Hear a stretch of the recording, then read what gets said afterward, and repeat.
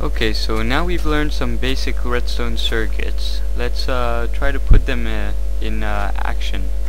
So I've got two doors here, and this is an example of uh, what you could do with I, what uh, you just learned today. Let's say I want I've got this switch that opens the door and closes the door like we saw before. Let's say I want this door to close when this one opens and this one to open when this door closes. That would mean that this door is receiving the opposite of the input of this door. Well that's simple to do, we just learned that. That's an inverter. So what we're going to do is split this uh, circuitry in two and you'll notice that you know it splits in two. Uh, is this an, an OR gate like we saw before? That is not an OR gate. That is, uh, remember an OR gate connects two inputs into one output. This is just splitting the uh, input into two outputs. So we're going to get the same output on each side.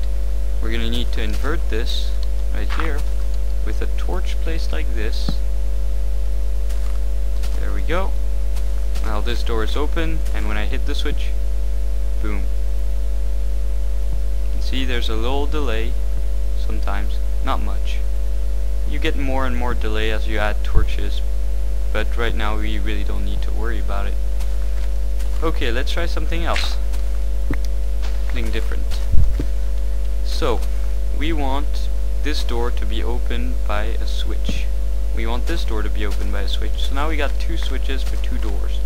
Let's say I want this switch to open this door, and this switch to open this door and this door. I'm going to make an OR gate here. You see I'm connecting this to the input here. And I'm going to make it on the circuit because uh, I could do this would work. But that defeats the purpose of what I want to show you.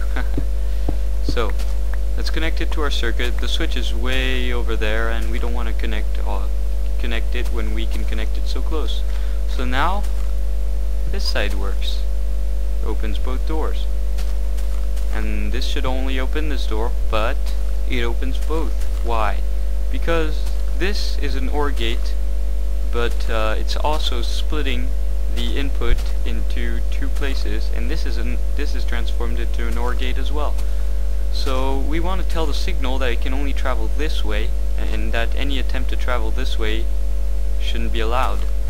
How are we going to do this? Well we learned earlier that if uh, you put a redstone torch like that it doesn't emit signal to the block on top of it but it receives signal from the block on top of it likewise it emits uh, signal from this side but uh, receiving signal doesn't do anything. So we're going to use that uh, to uh, do what we want here and what we're going to use is a repeater. So let's put down a repeater and see if that works